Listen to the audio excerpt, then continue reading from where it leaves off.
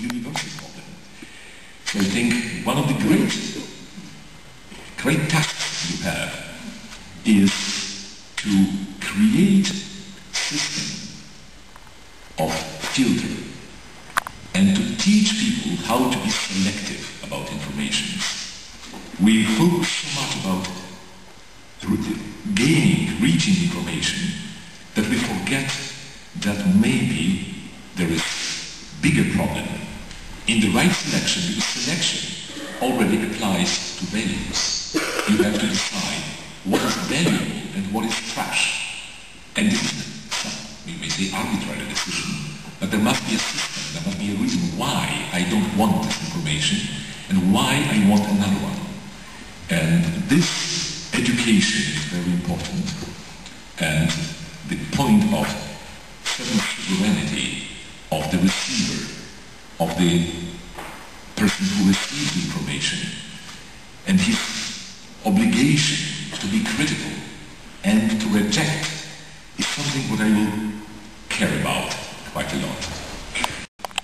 Short time, some time ago, at Rice University in Texas, and I know Houston is also a place where you have uh, cosmic uh, gurus, great physicists, made me an honor joined me for my field retrospective. When the film was over, the director invited us for dinner, and I asked the great guru of NASA one simple question.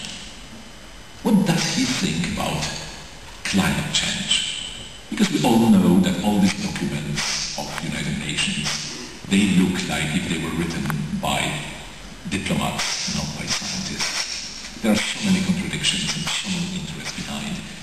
Wanted to know from somebody, I expect is well informed. What is the situation? How much concerned I should be to be responsible citizen of this planet? And he gave me a beautiful and very disturbing answer. Somewhere on the internet, he checked that I have a label of being a believer. I'm Christian. He said, all right, I am Jewish. So we both agreed that God is unchangeable. God is stable.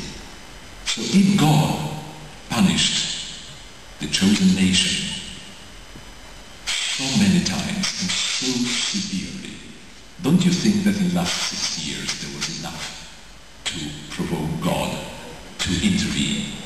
So sooner or later it will be climate change or eruption of Vesuvius or collision with a comet or a flu, we have one at the moment, and something will surprise us because our plans, even if I am afraid we have not clear plans, but they are always wrong because the reality is surprising us.